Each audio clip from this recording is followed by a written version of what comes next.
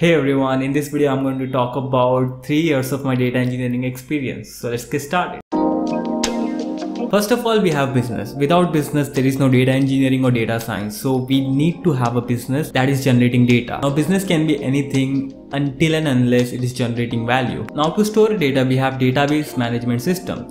It is a way of organizing data into proper structure. There are mainly two types of data management system. One is your relational database that basically stores data into row and column format. It has fixed set of schema So first we need to define the structure of it. So it is easier to read data. We can also define relationship between data and organize data into multiple tables, etc. And on the other hand, we have NoSQL database, which basically stores data into key value pair, graph, and document database, etc. While relational database can only manage structured data, and on the other hand, NoSQL database can manage structured, unstructured, and semi-structured. To build a relational database, we need to build a data model so that we can easily understand the relationship between database and different tables. To work with database, we have the language language called SQL, Structured Query Language. You can use SQL to read data, write data, insert data and whatever you want to do. Basically SQL is the way you communicate with the database. You can pass some commands to database and database will return some output. Such as if I want to select the 10 rows from the table, I can just write select star from table limit 10.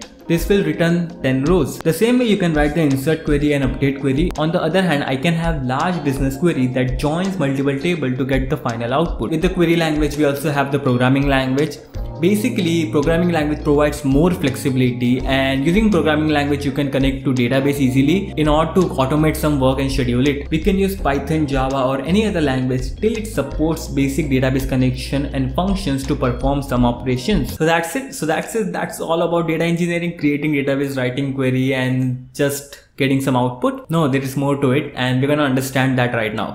Hey, can you please run the query that I just shared you? I just want to get the data from the last three years about our sales record. This will take forever to run. Relational databases are designed for faster read, write and updates. To run complex query like this and return historical information, we need something else. What? A data warehouse. So basically there are two types of databases, OLTP, online transactional processing, which we are currently using to store our data. And on the other hand, we have OLAP, which is online analytical processing, which we use for analysis. So now we need to take our data and put it in into data warehouse, but it is not that simple as it looks. We need to build a pipeline for that and write ETL job. So what is ETL? ETL stands for extract, transform, load. So you extract data from one particular source. In our case, it is the traditional relational database. Then you do some transformation using programming language or you can use any tool such as Alteryx, Informatica or Airflow. It doesn't matter which tool you use, okay? The only goal is to convert that particular data into some kind of business logic that can be stored into data warehouse and used for the analysis. So that is your ETL entire pipeline. So just like relational database, we had data model. In the data warehouse, we need to build a dimensional model.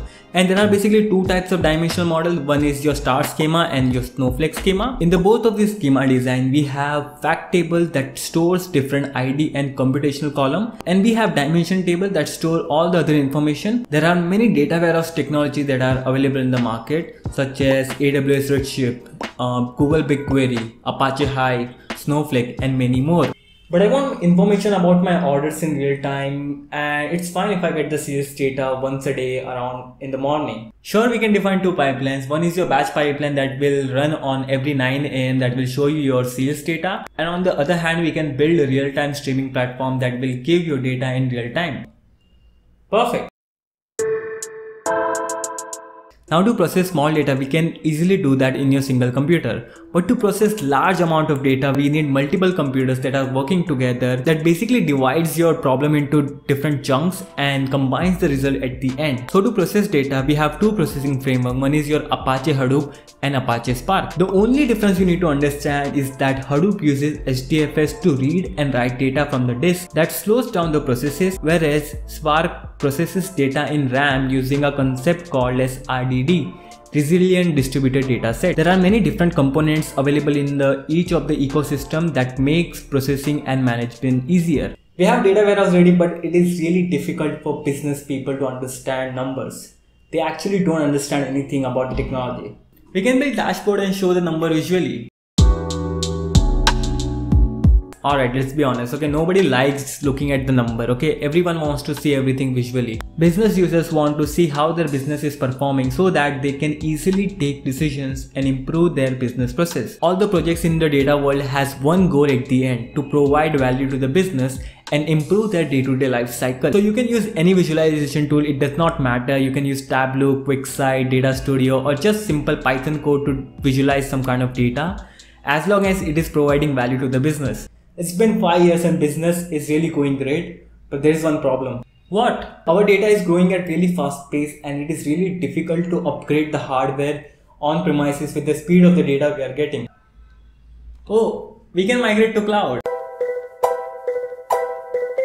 Now most of the new startup companies are directly working on a cloud network so you might not face this issue but most of the companies are still using on-premise data servers and trying to move to cloud. The advantages of moving to cloud is pretty straightforward. You only pay for services that you use. You can easily scale up and scale out your servers. You don't have to manage everything. Data will be encrypted and you can easily take backups of your data and replicate it into the multiple servers. And cloud platforms also provide other services such as IAM to manage users VPC to manage networkings and many more. So as a data engineer, most of the time you will be working on a cloud network and based on this Gartner quadrant, there are top 3 cloud providers such as AWS, GCP and Azure. Now we are on the cloud so we can do anything we want. Hire a data scientist or a machine learning engineer who can build a projection model, classification algorithm so that we can improve the business and find more insights. Now everything I said was just a kind of a summary there are many different things that data engineer does and it is quite difficult to teach everything in single video. So I hope you understand the end-to-end -end process of data engineers and what they do. Also let me know what you think about this video in the comment section. If you are new here then don't forget to hit the subscribe button and I'm also doing a lot of projects and tutorials on this particular channel so make sure you follow that to learn data engineering. See you in the next video. Thank you.